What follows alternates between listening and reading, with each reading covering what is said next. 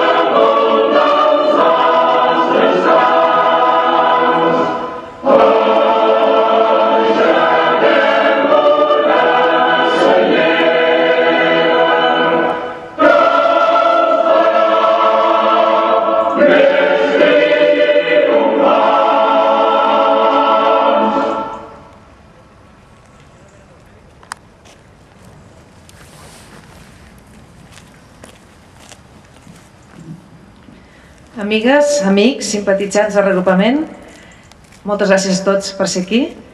El 15 d'octubre de 1940, a les 6.30 del matí, avui fa 70 anys, a prop d'aquí, al Fosà de Santa Eulàlia, l'exèrcit d'ocupació espanyola a Catalunya i després d'una vergonyosa farsa jurídica va assassinar, va executar el president de la Generalitat de Catalunya, Lluís Companys. Diguin el que diguin, l'estat espanyol i en conseqüència el rei Borbó és encara avui còmplice d'aquell assassinat, ja que miserables superfugis jurídics segueix sense reconèixer-ho. Molts, masses institucions polítiques i privades, amb la construcció d'aquest panteó, ens volen tancar la boca. Ja està, aquí, hi ha, aquí reposen les restes de Lluís Companys.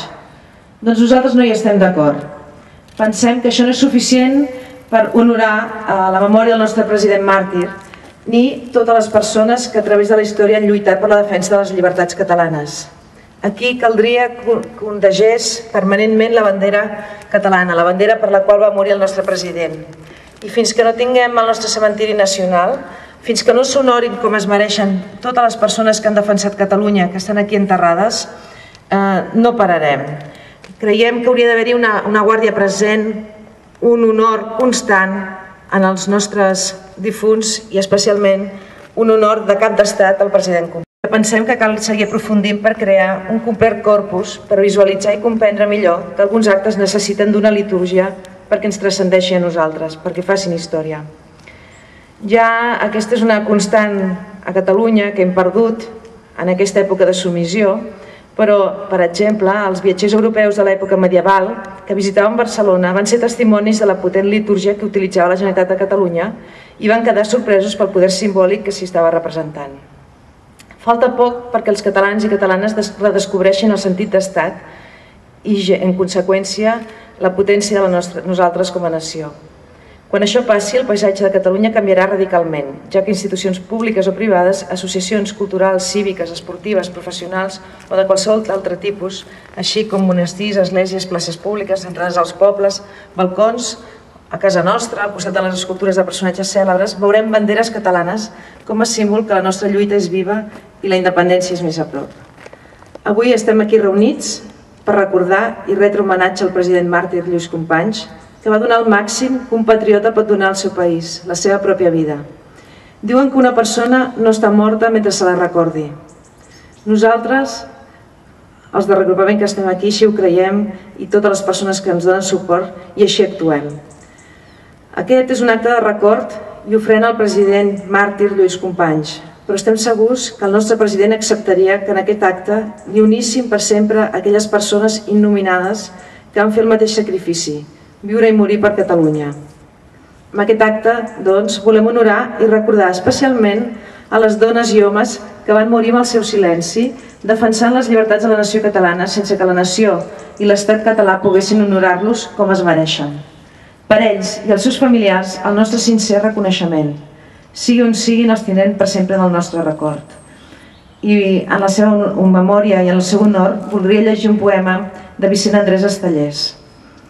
Assumiràs la veu d'un poble i seràs la veu del teu poble i seràs per sempre poble i patiràs i esperaràs i aniràs sempre entre la pols. Et seguirà una polseguera.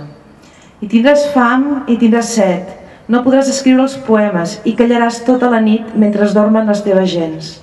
I tu sols estaràs despert i tu estaràs despert per tots. No t'han parit per dormir, et pariren per vetllar a la llarga nit del teu poble.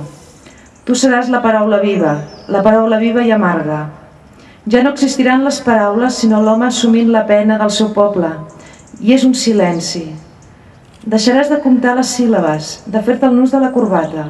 Seràs un poble, caminant entre una amarga polseguera, vida amunt i nacions amunt, una enaltida condició.